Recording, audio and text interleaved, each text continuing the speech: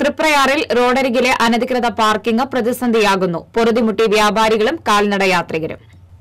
Triprayar bus സ്റ്റാൻഡിന് എതിർവശത്ത് ദേശീയപാതയോരത്തെ അനധികൃത പാർക്കിംഗ് ആണ് വഴിയാത്രക്കാർക്കും വ്യാപാരികൾക്കും ഒരുപോലെ തലവേദനയായിരിക്കുന്നത്. ഒരേ സമയം അറുപതിലേറെ ബൈക്കുകളാണ് ദേശീയപാതയോരത്ത് പാർക്ക് ചെയ്യുന്നത്. തൃപ്രയാർ സെന്റ് ജൂഡ് പള്ളിക്ക് സമീപം മുതൽ തൃപ്രയാർ ബീച്ച് റോഡ് വരെയുള്ള ദേശീയപാതയോരത്താണ് ഇത്രയുമധികം ബൈക്കുകൾ അനധികൃതമായി പാർക്ക് ചെയ്യുന്നത്. ഇതിനോട് ചേർന്നുള്ള ഷോപ്പിംഗ് കെട്ടിടത്തിൽ ഒട്ടേറെ വ്യാപാര സ്ഥാപനങ്ങളാണ് പ്രവർത്തിക്കുന്നത്. വ്യാപാര സ്ഥാപനങ്ങളിൽ എത്തിച്ചേരാൻ ദേശീയപാതയോരത്തെ കാനയ്ക്ക് മുകളിലെ സ്ലാബ് കടന്നു വേണം പോകാൻ. രാവിലെ എട്ട് മണിക്ക് മുൻപ് തന്നെ പാർക്ക് ചെയ്തിരുന്ന വാഹനങ്ങൾ രാത്രി പതിനൊന്ന് മണി കഴിഞ്ഞാലാണ് ഒഴിവാകുന്നത്. ഭൂരിഭാഗം വാഹനങ്ങളുടെയും ഉടമകൾ എറണാകുളം തൃശൂർ ഉൾപ്പെടെയുള്ള നഗരപ്രദേശങ്ങളിൽ ജോലിക്ക് പോകുന്നവരും മറ്റുമാണ്. അനധികൃത പാർക്കിംഗ് കാരണം ബസ്സുകളിൽ യാത്ര ചെയ്യാനെത്തുന്നവർക്ക് അപകട ഭീഷണിയും നിലനിൽക്കുന്നുണ്ട്.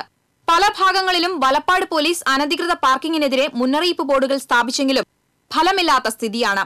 അനധികൃത പാർക്കിംഗ് നടത്തുന്ന ഉടമകൾക്കെതിരെ പോലീസ് നടപടി ഉണ്ടാകണമെന്ന ആവശ്യം ശക്തമായിരിക്കുകയാണ്. T C V Triprayar.